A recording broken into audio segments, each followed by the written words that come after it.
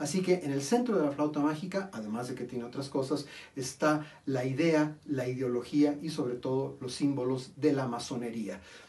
El candado, la flauta, la serpiente, las campanitas y muchos otros son símbolos directamente asociados con las ideas y los rituales masónicos.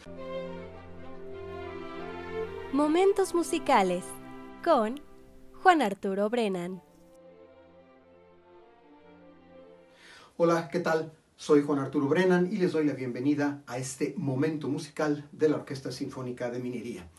La obra de hoy la obertura de la ópera La flauta mágica de Wolfgang Amadeus Mozart. Se trata de una obra muy tardía suya, data del año mismo de su muerte, 1791, y la composición de la flauta mágica fue prácticamente concurrente, contemporánea, con la composición de la otra ópera tardía de Mozart, que es La Clemenza di Tito o La Clemencia de Tito.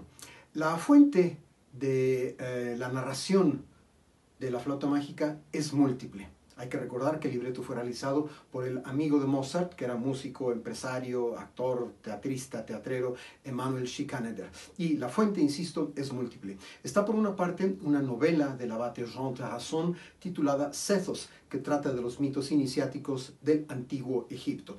Está también como base de la flauta mágica eh, una narración titulada Lulu o la flauta mágica de August Jacob Wedekind. Por cierto, estos materiales y otros que menciono fueron puestos en orden como libreto no solamente por Schikaneder, sino que ayudó un poco en las ideas originales Carl Ludwig Giesecke. Por cierto, los dos eran masones igual que Mozart. También hay alguna referencia argumental a la poesía medieval francesa a través de Chrétien de Troyes y de manera importante un libro contemporáneo de la época de Mozart escrito por Ignaz von Born. Este Ignaz von Born era un caballero austriaco, un noble caballero austriaco que además también era masón y dicen por ahí que la figura real de Ignaz von Born es la inspiración que tomó Schikaneder al escribir su libreto para el personaje de Sarastro en la ópera La flauta mágica. Así que en el centro de la flauta mágica, además de que tiene otras cosas, está la idea, la ideología y sobre todo los símbolos de la masonería.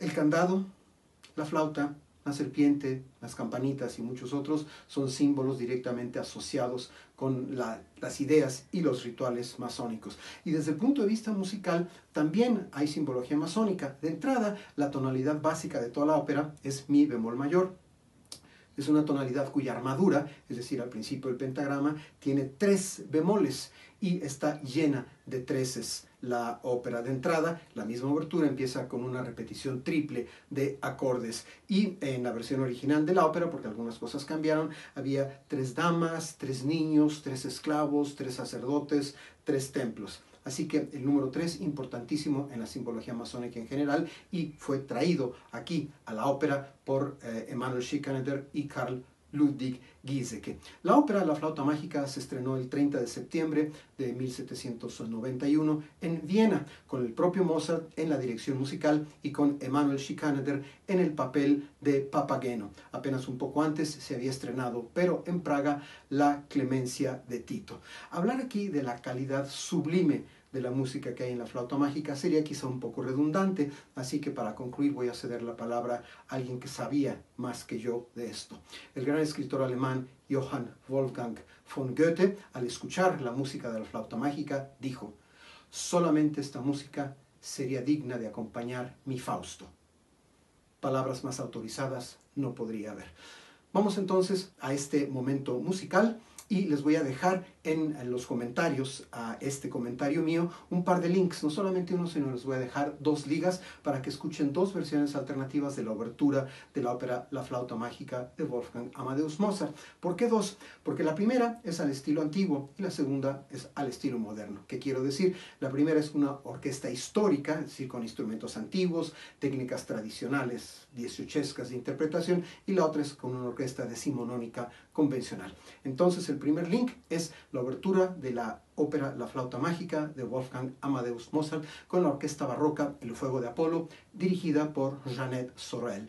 Y la segunda es la misma obertura pero con la orquesta filarmónica de Boston dirigida por Benjamin Sander. Espero que les guste escuchar ambas y sobre todo hacer sus propias comparaciones.